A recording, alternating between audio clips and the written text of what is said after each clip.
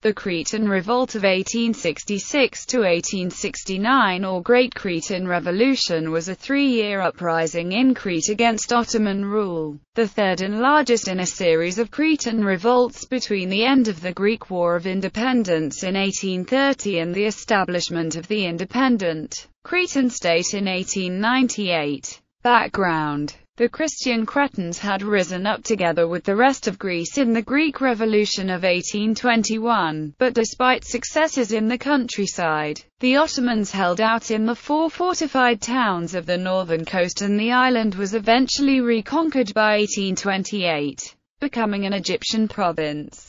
In 1840, Crete was returned to direct Ottoman rule, followed by an unsuccessful 1841 uprising in support of union with independent Greece. Another uprising in 1858 secured some privileges, such as the right to bear arms, equality of Christian and Muslim worship, and the establishment of Christian councils of elders with jurisdiction over education and customary and family law. These concessions were resented by the Muslim community, while the Christians pressed for more, while maintaining their ultimate aim of union with Greece. Revolt as tensions ran high in the island, and several petitions to the Sultan went unanswered, armed bands were formed, and the uprising was officially proclaimed on August 21, 1866. The revolt caused immediate sympathy in Greece, but also elsewhere in Europe. The rebels initially managed to gain control of most of the hinterland, although as always the four fortified towns of the north coast and the southern town of Iera Petra remained in Ottoman hands. Arcadi One particular event caused strong reactions among the liberal circles of Western Europe, the Holocaust of Arcadi.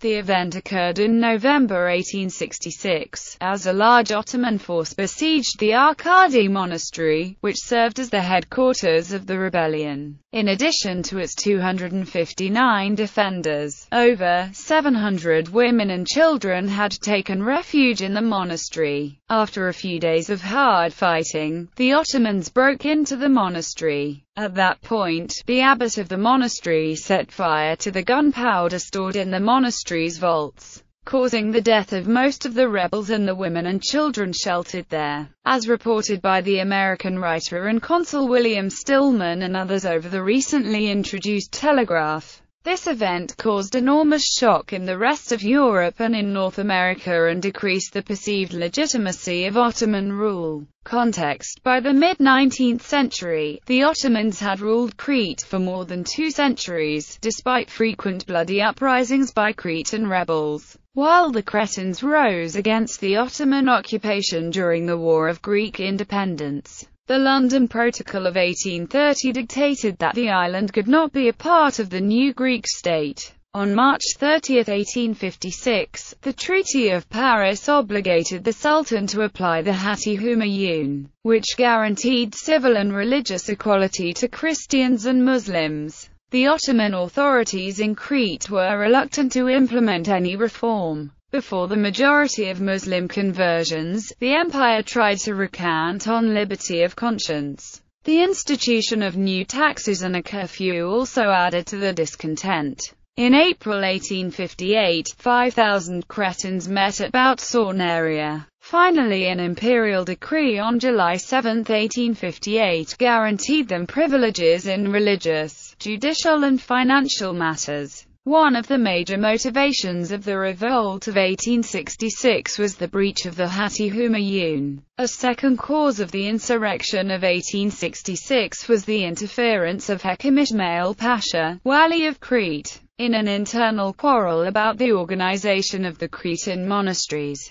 Several laymen recommended that the goods of the monasteries come under the control of a council of elders and that they be used to create schools but they were opposed by the bishops. Ismail Pasha intervened and designated several people to decide the subject and annulled the election of undesirable members, imprisoning the members of the committee that had been charged with going to Constantinople for presenting the subject to the Patriarch. This intervention provoked violent reactions from the Christian population of Crete. In the spring of 1866, meetings took place in several villages On May 14, an assembly was held in the Agia Kyriaki Monastery in Boutsounaria near Hania. They sent a petition to the Sultan and the consuls of the big powers in Hania. At the time of the first meetings of the revolutionary committees, the representatives were elected by province and the representative of the Rethymno region was the hegumen of Arcadi, Gabriel Marinakis. At the announcement of these nominations Ismail Pasha sent a message to the hegumen via the Bishop of Rethymno, Kallinikos. The letter demanded that the hegumen dissemble the Revolutionary Assembly or the monastery would be destroyed by Ottoman troops.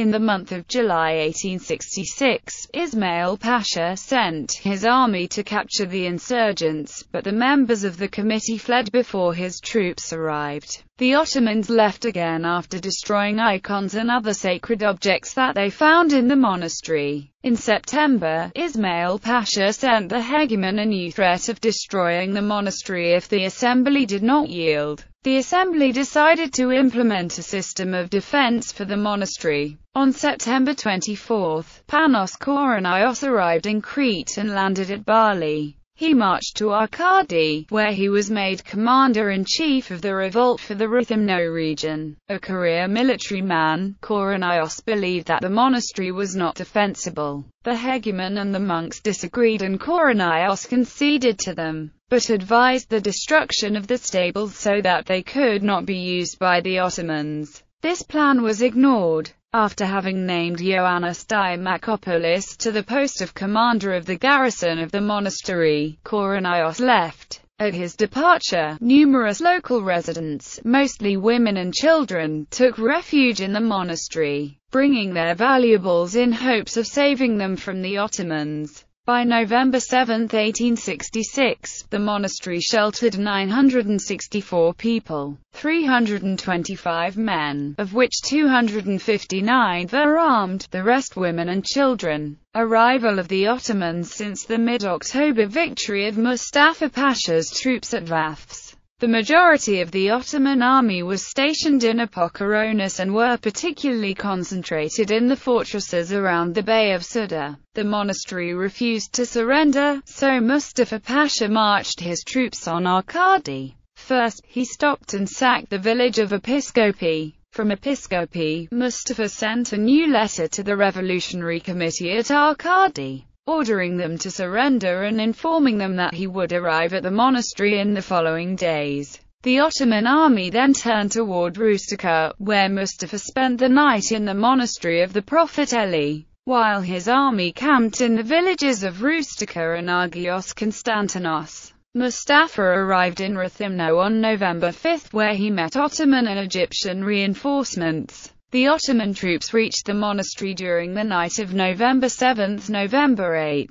Mustafa, although he had accompanied his troops to a site relatively close, camped with his staff in the village of Messi attack on the morning of November 8, an army of 15,000 Ottoman soldiers and 30 cannons, directed by Suleiman, arrived on the hills of the monastery while Mustafa Pasha waited in the Messi. Suleiman, positioned on the hill of Kor to the north of the monastery sent a last request for surrender. He received only gunfire in response. The assault was begun by the Ottoman forces. Their primary objective was the main door of the monastery on the western face. The battle lasted all day without the Ottomans infiltrating the building. The besieged had barricaded the door and from the beginning, taking it would be difficult. The Cretans were relatively protected by the walls of the monastery, while the Ottomans, vulnerable to the insurgents' gunfire, suffered numerous losses. Seven Cretans took their position within the windmill of the monastery. This building was quickly captured by the Ottomans, who set it on fire, killing the Cretan warriors inside. The battle stopped with nightfall. The Ottomans received two heavy cannons from Rethymno, one which was called Koutsaila. They placed him in the stables. On the side of the insurgents, a war council decided to ask for help from Panos Koronaios and other Cretan leaders in Amari. Two Cretans left by way of the windows by ropes and, disguised as Muslims, crossed the Ottoman lines.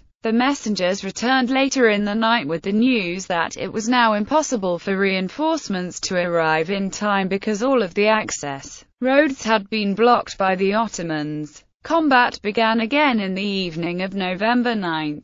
The cannons destroyed the doors and the Ottomans made it into the building, where they suffered more serious losses. At the same time, the Cretans were running out of ammunition, and many among them were forced to battle with only bayonets or other sharp objects. The Ottomans had the advantage. Destruction The women and children inside the monastery were hiding in the powder room. The last Cretan fighters were finally defeated and hid within the monastery. 36 insurgents found refuge in the refectory, near the ammunitions discovered by the Ottomans, who forced the door, they were massacred. In the powder room, where the majority of the women and children hid, Konstantinos Giabadakis gathered the people hiding in the neighboring rooms together. When the Ottomans arrived at the door of the powder room, Giabadakis set the barrels of powder on fire and the resulting explosion resulted in the deaths of numerous Ottoman soldiers. In another room of the monastery holding an equal number of powder barrels, insurgents made the same gesture, but the powder was humid and only exploded partially, so it only destroyed part of the northwest wall of the room. Of the 964 people present at the start of the assault, 864 were killed in combat or at the moment of the explosion. 114 men and women were captured, but three or four managed to escape, including one of the messengers who had gone for reinforcements.